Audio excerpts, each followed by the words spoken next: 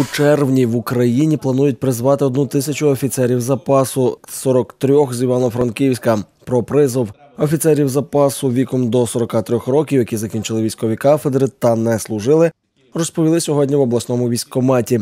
Призов відбудеться на рівних засадах як для чоловіків, так і для жінок. Служба триватиме 18 місяців, і в зону АТО направляти їх не будуть. Призову будуть підлягати ті, які будуть визнані придатними за станом здоров'я.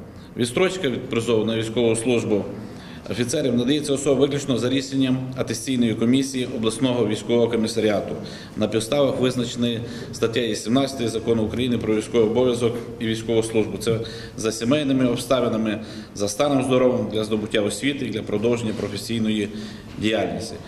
Офіцери запасу на службі отримуватимуть зарплату. Грошове забезпечення на первинних офіцерських посадах рівня командира взводу становить більше 9 тисяч гривень. Крім того, що буде грошове забезпечення від 9 тисяч гривень, відповідно до займаної посади, так само зберігається е, середньомісячна е, заробітня плата за місцем праці. Крім того, такі пакети, як можливість підняття е, піднаймання житла за місцем проходження служби або на особу, або на членів сім'ї, всю сім'ю, це відповідно